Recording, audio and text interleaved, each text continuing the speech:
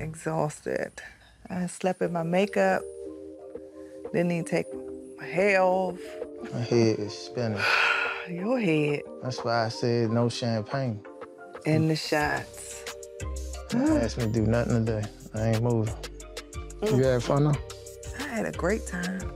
I can honestly say that that's one anniversary I'll say we always cherish. It was a good night. It was a really good night. A good great night. We should do it again. Let's do it. I felt like we were being interviewed.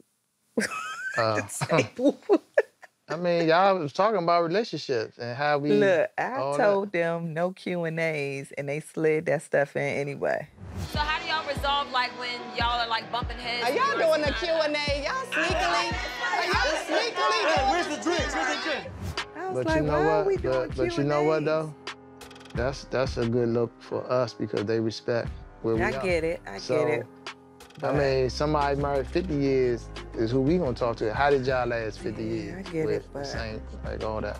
Cause uh, no marriage perfect, and we all know that. I mean, it's all good now.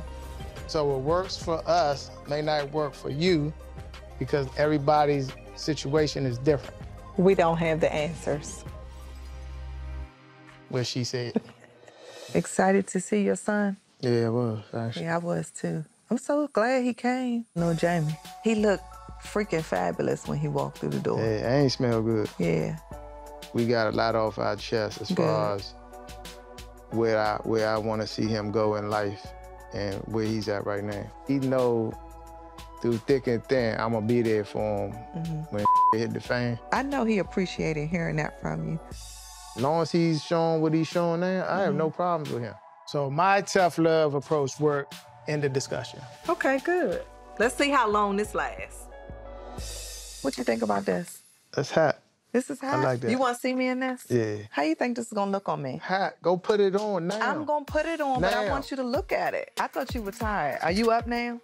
I'm up now. Oh, yeah. you up now? Yeah. We got an amazing gift for our anniversary. Sexy lingerie.